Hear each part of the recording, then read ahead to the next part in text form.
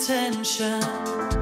Naive, I believed the meaning was more than you'd ever mention.